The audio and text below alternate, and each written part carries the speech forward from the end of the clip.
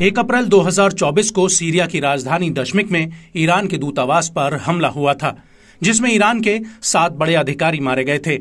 Iran ने इस हमले का आरोप इसराइल और अमेरिका पर लगाया था।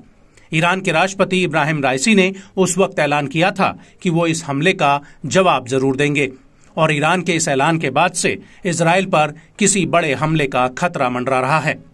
वहीं इसराइल ने भी ईरान के किसी भी सीधे हमले से निपटने के लिए तैयारियाँ शुरू कर दी हैं। यहाँ तक कि अब अमेरिका ने भी इसराइल को ईरानी हमले के लिए आगाह कर दिया है और अब इसराइल हाई अलर्ट पर है।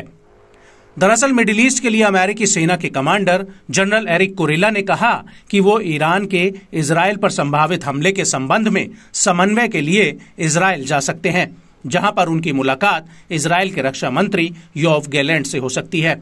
वहीं इसराइल का कहना है कि वो ईरानी ज़मीन पर इसराइल पर संभावित बैलिस्टिक मिसाइल, ड्रोन और क्रूज मिसाइल हमले के लिए तैयारी कर रहा है।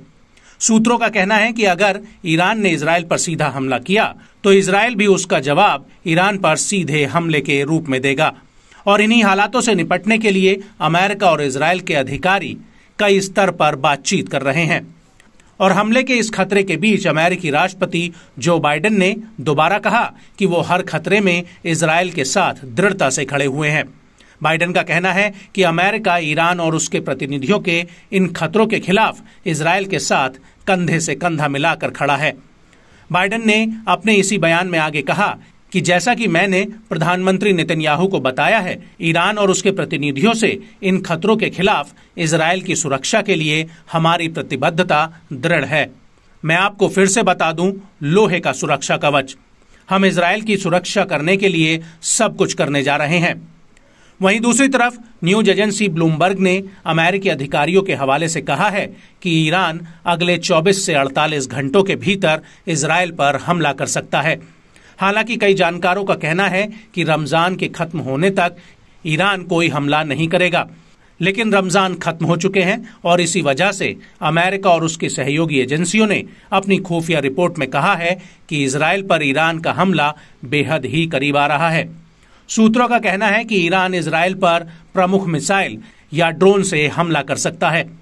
हालाँकि इस खुफिया रिपोर्ट में यह भी कहा गया है कि ईरान या तो सीधा हमला करेगा या फिर अपने सहयोगी, जैसे हिजबुल्ला के ज़रिए ये हमला करा सकता है।